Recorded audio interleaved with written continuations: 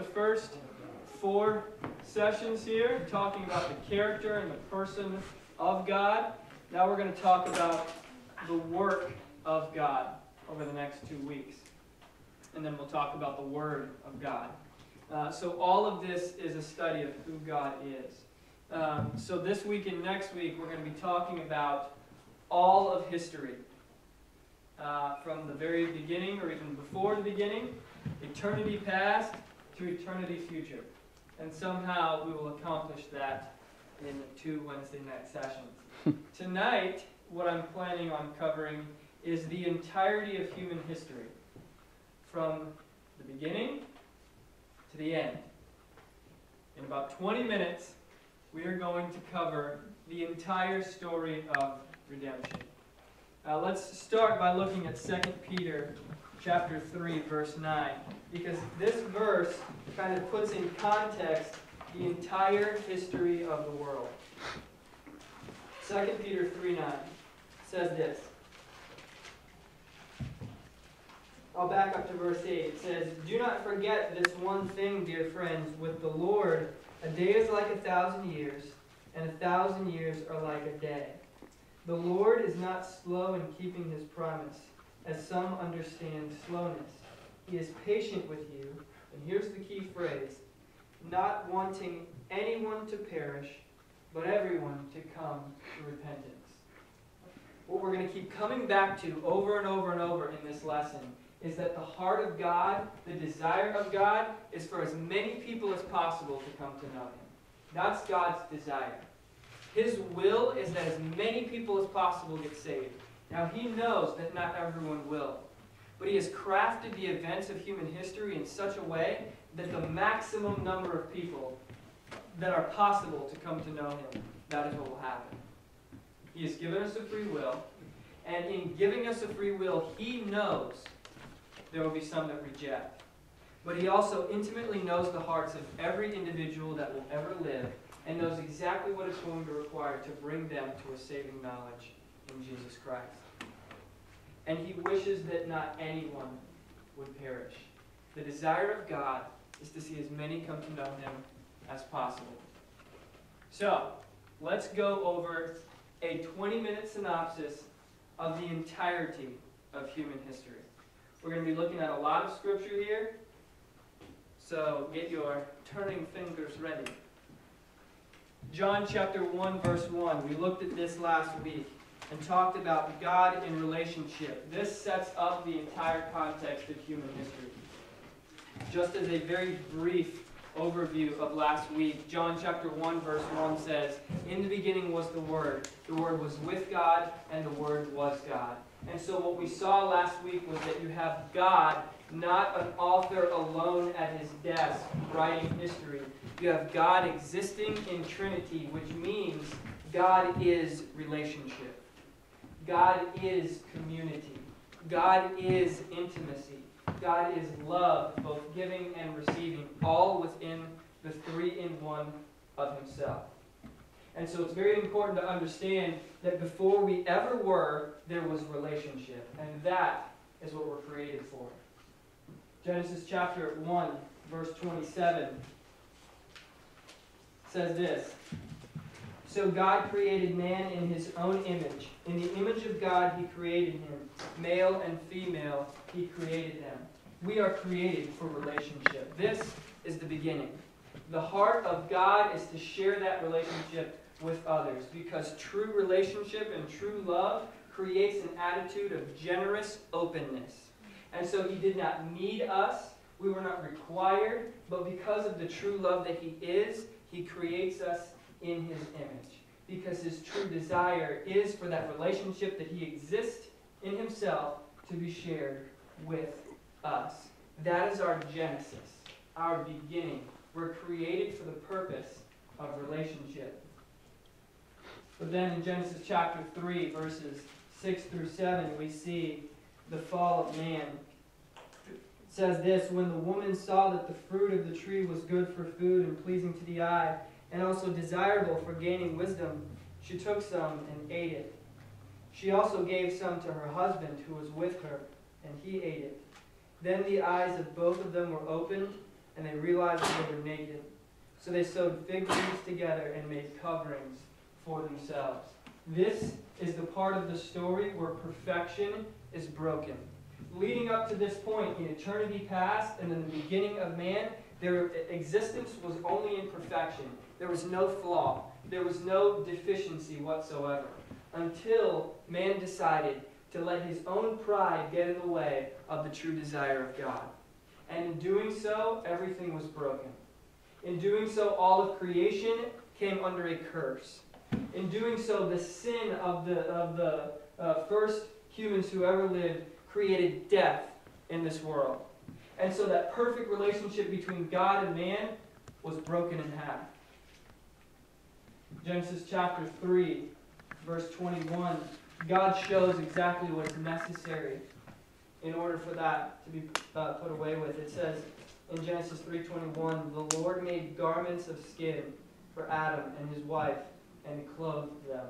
And this verse doesn't just talk about fashion to give them clothes. Well, now that they they know that they're naked, this verse talks about the institution of the sacrificial system.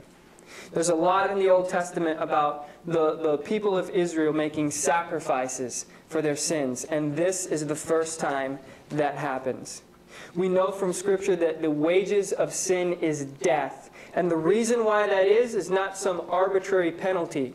We've talked about this before. The reason why the wages of sin is death is because if God is the source of life and sin separates us from God, that is a separation from life. What is separation from life? Death. And so, in order to pay the penalty of those sins, there had to be death. And so, God, in His desire to restore relationship, institutes the sacrificial system so that Adam and Eve can continue to be in relationship with God. He doesn't just cast them out. He doesn't just start over. He doesn't just kill them right on the spot. He kills an animal for them so that they can maintain their relationship. Once again, the heart of God is for the redemption of man. In Genesis chapter 4, verses 12 through 15, we see that God continues to offer salvation, but man continues to rebel. It says this in 4 12 through 15. Um, he's speaking to Cain here, and he says, When you work the ground, it will no longer yield its crops for you. You will be a restless wanderer on the earth. And Cain said to the Lord, My punishment is more than I can bear. Today you are driving me from the land, and I will be hidden from your presence. I will be a restless wanderer on the earth, and whoever finds me will kill me. But the Lord said to him, Not so. If anyone kills Cain, he will suffer vengeance seven times over. Then the Lord put a mark on Cain, so that no one who found him would kill him. And so Cain went out from the Lord's presence and lived in the land of Nod, east of Eden. Even here, in sending Cain out, even here in, in the face of the murderous sin of Cain, God is still showing that his heart is for salvation. He doesn't just cast Cain out. Because when Cain says, My punishment is too great for me, I will never be in your presence again, I'm going to be killed out there, God says, Not so.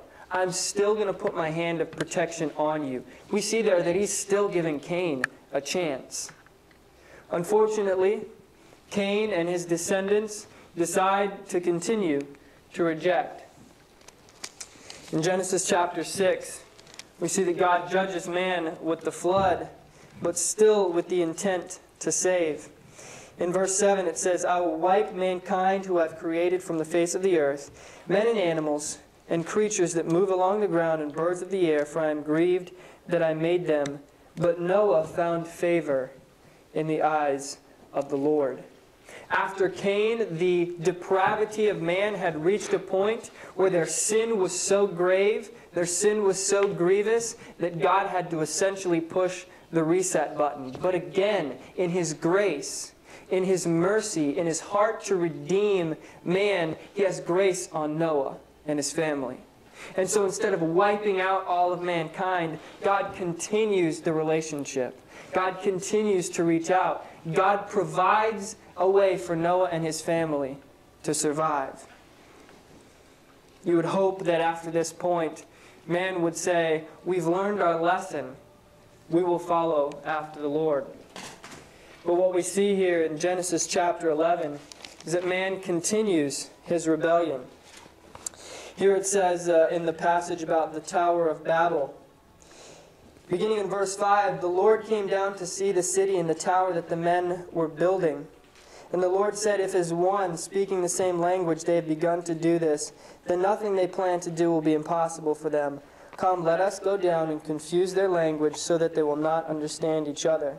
So the Lord scattered them from there all over the earth, and they stopped building the city. That is why it was called Babel, because there the Lord confused the language of the whole world. From there the Lord scattered them over the face of the whole earth. God knew that if I allow this to continue, if I allow man to rebel in this way, they're never going to come back to me. They're never going to restore this relationship with me. And so I've got to intervene. I've got to do something because his heart is for the redemption of man. And so he uses something like this that seems to us to be a crazy judgment where he confuses them, gives them all different languages, and scatters them over the face of the earth. But why? Because again, the heart of God is for the redemption of man. And so he intervenes and does what is necessary in order for man to be brought down to their knees so that they'll realize their need for the Lord. When we look at the rest of the entire Old Testament, and we could spend all day looking at different passages, what you will see is a roller coaster ride, a continuous up and down of times of faithfulness to the Lord and times of disobedience. Then more times of faithfulness, then more times of disobedience. The people of God wax and wane. They go back and forth. Sometimes they're faithful, sometimes they're not. And God gives them the law to point them to Himself.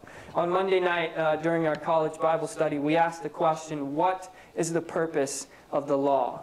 The Old Testament, all these commands, all these rules, what's the point of that? Why does God hand that down? And the simple reason is this because the law shows us our need for God. Without the law, we wouldn't know how bad off we really are. We wouldn't realize just how sinful and depraved our hearts are. We wouldn't realize why we are so desperate for a Savior. And so God gives us the law not to give us a bunch of rules that if we follow them, we'll earn our way to Him. No, that's not how it works. God gives us this long list of commands in order that we realize, I need God. Because again, His plan is for the redemption of man. And He continues to give chance after chance after chance for salvation. Every judgment that God hands down in the Old Testament is His perfect way of calling man unto Himself. We, we talk about all of the atrocities in the Old Testament sometimes, and we look at that and go, why would God do that? Because God is a father who desires for man to be redeemed. And he's got to stop evil in order for good to prevail. And these judgments are God's way of shaking man and getting his attention and saying, Hello, I'm giving you every chance to obey me. I'm giving you every chance to come back to me. If you make the choice to reject me, I'm going to allow you to have that choice, but I'm not going to allow you to drag others down with you. Because the desire of God is for as many people as possible to come to know Him. And so He hands down these judgments, and there's these up and down and up and down times in the people of Israel because God's desire is for the most amount of people to come to know Him. And then we get to Christ.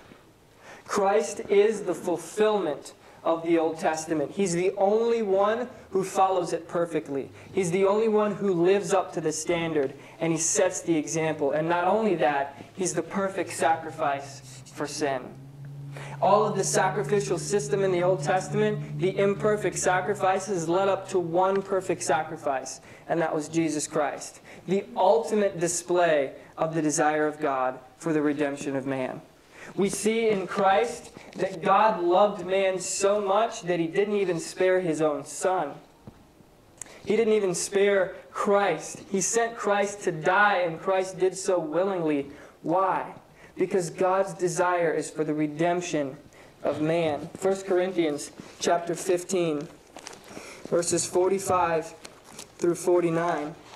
says this As it is written, the first man, Adam, became a living being. The last man, who is Christ, uh, the last Adam, a life giving spirit.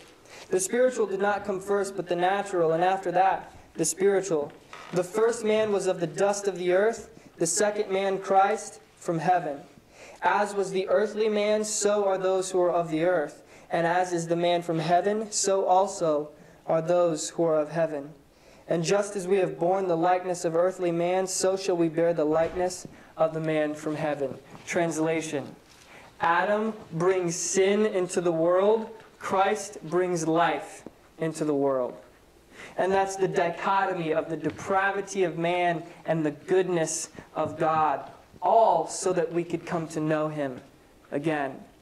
And the saints in the Old Testament are not saved by the old sacrificial system. The saints in the Old Testament are saved because of their faith in a future Savior who is Jesus Christ. And with Jesus Christ, the new covenant of his blood is brought to us, and we have a free will choice. Do I want to be redeemed? Right now, in our present time, God is continuing to call man unto himself, and we have the privilege of participating. Not only do we get the benefit of salvation, the benefit of redemption, God is also calling us to be the ones to share it with others. He's also calling us to be the ones who are ambassadors. Because our citizenship is not here, this is not home, heaven is home.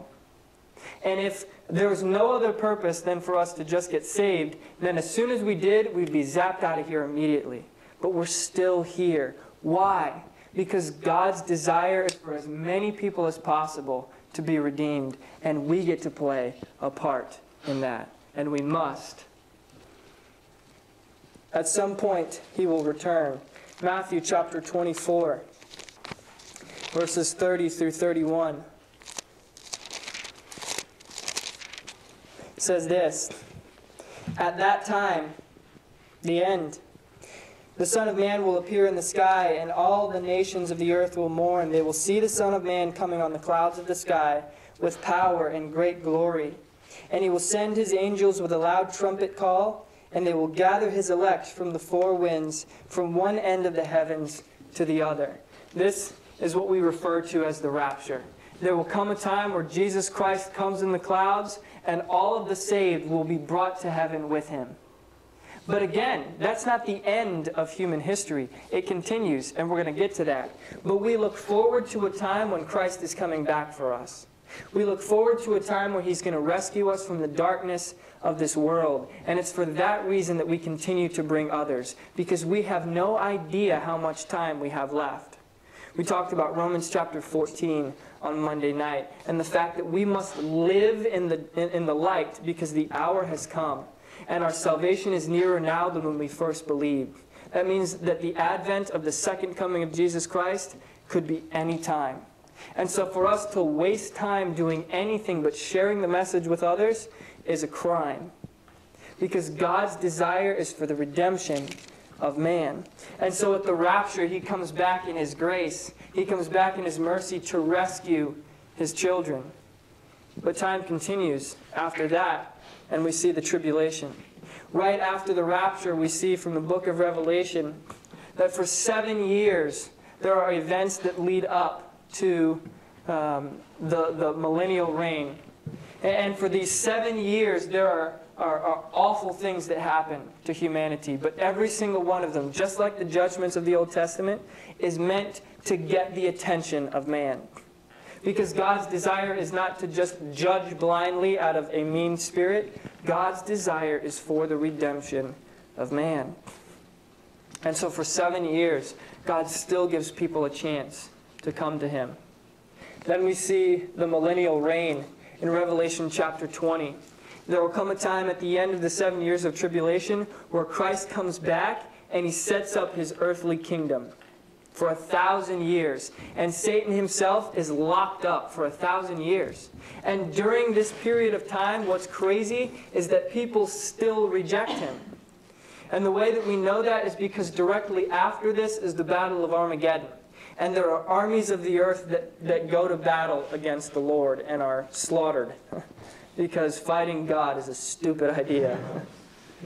But even during this thousand years, there are still people who reject him. But during this thousand years, while Christ has his kingdom here on earth, what is his goal? To see as many people come to know him as possible. Because the heart of God is for the redemption of man. Throughout all of human history, one thread has connected everything God's desire to save man. He has orchestrated history in order to see as many people as possible come to know him. We may not always understand the plan of God, but his goal is the redemption of man for his glory. Every event that has happened throughout all of human history has one thing in common, and that is that it plays into the ultimate desire of God, which is for man to come to know him which is for man to be brought back to the state that he was in the Garden of Eden before the fall. A perfect fellowship with a perfect God who lives in perfect relationship and desires to give perfect relationship to us. And every good thing, every bad thing, every confusing thing in between has all this in common God's desire to save man all of human history is the story of the redemption. All of human history is one piece at a time, God showing over and over and over, I love you and I want you to know me. And so, where does that leave us right now? Number one, if you don't know Him, coming to know Him is His heart and desire, and He's giving you that opportunity. And if you do know Him, Obviously, his desire for us is to bring as many other people as possible. For us to be the ones to go on mission, on purpose, and bring the truth, bring the light into the darkness. All of human history, from beginning to end, is all about the redemption of God. And so there you have it 20 minutes, the entire scope of human history. Let's pray. Heavenly Father, thank you so much for truth. And thank you so much, Lord, that your heart, your desire, your will is for the redemption of mankind. God, I pray that you would help us to see history through that lens. That you would help us to see that in every event of history, all you're trying to do is bring more people to know you. All you're trying to do is share your love with more people, to see the maximum amount of number, number of people possible to come to know you. God, I pray that for right now, you would help us to fully participate in that mission. God, I pray that if there's anyone here who's not come to a place of true and honest faith, who hasn't taken the step to commit their lives to you, God, I pray that tonight you would at least bring them one step closer to making that decision. And God, for the rest of us, I pray that you would help us to stop focusing on the things that do not matter. Stop focusing on the things that are contrary to the mission. God, I pray that you would help us to give ourselves passionately to the goal of seeing as many people as possible come to know you. Lord, that we would make it our goal to share our faith with everyone, that we'd make it our goal to, on purpose, be the light in the darkness. That in our circle of friends, in our families, in our workplaces, in our schools, wherever we might be, that the one thing on our mind would be God's heart is for the redemption of man, and He sent me to be a part of that mission. God, I thank you so much for this youth group and all that you're accomplishing in us and through us. God, I pray that you would bring us into a deeper relationship with you and with each other. And God, as we discuss this now in our family groups, I pray for honest, open, genuine conversation. That we might help one another, that as iron sharpens iron, we might help each other grow closer to you. We pray this in Jesus' name. Amen.